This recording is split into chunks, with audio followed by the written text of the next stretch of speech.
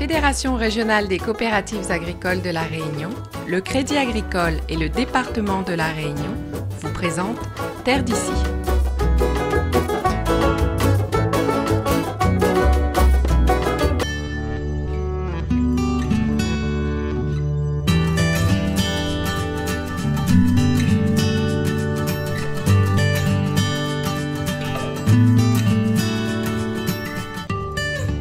Fruit de l'été, très apprécié pour ses qualités rafraîchissantes, le pitaya se consomme, frais bien sûr, et même glacé. Maître artisan glacier, Stéphane Soulier crée avec tout son savoir-faire des sorbets à base de fruits pays, comme ce jour-là avec ses pitayas.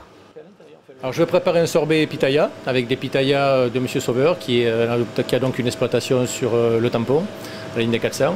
Donc voilà, on va préparer, on va couper les pitayas, les préparer.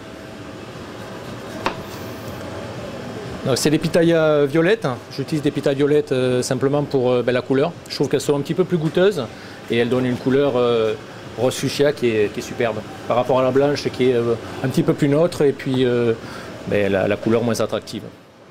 La fabrication du sorbet se poursuit. Après avoir coupé les pitayas en deux, Stéphane en récupère la pulpe fraîche et naturellement très colorée. On récupère la pulpe et le jus, les deux. Et ensuite, on va broyer, euh, broyer grossièrement le, le, fruit pour euh, le pulper en fait. Hein. C'est un fruit qui est très facile à travailler, contrairement à, à, certains autres. La mangue est plus compliquée. La pitaya, c'est quand même un fruit assez, assez facile à, à travailler. C'est euh, le fruit, c'est un des fruits que je préfère travailler, oui. Il y en a d'autres qui sont un peu plus contraignants. Comme dans toutes mes glaces, ou l'essentiel de mes glaces, je, rajoute, je ne rajoute pas de, pas de colorant et pas d'arôme. Pas il faut cependant encore rajouter le bon dosage de sirop de sucre pour obtenir la base du sorbet. Le sorbet, c'est euh, avant tout du fruit, euh, dans une proportion euh, la plus haute possible, technologiquement, et ensuite simplement du sucre et de l'eau. Voilà, pour équilibrer un petit peu la formule, c'est tout. La transformation de la préparation en sorbet peut alors commencer. Alors là, je mets le mélange qu'on vient de faire dans la turbine. Donc la turbine, c'est simplement un appareil qui transforme ce, ce mix, ce mélange, euh, en un sorbet.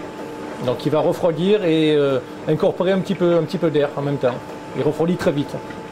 Après quelques minutes passées dans la machine, le sorbet au pitaya est enfin prêt. C'est pas une crème glacée, c'est un sorbet, donc euh, pas, de, pas de lait, pas de matière grasse. Et euh, effectivement, j'ai des, des, sorbets qui ont une, une texture relativement crémeuse.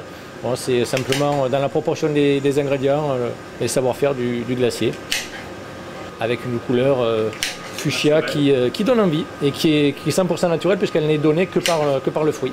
Ce qui attire en tout premier lieu, c'est la couleur. Donc surtout les enfants, euh, bon, ils assimilent ça un petit peu à la fraise et euh, bon, ça, ça, attire vraiment, ça attire vraiment l'œil. Euh, la pitaya, j'en fais pas toute l'année, j'en fais en saison, voilà. Donc voilà, c'est un fruit un peu plus saisonnier pour moi. Une petite sauce, des petits toppings. Et elle est prête.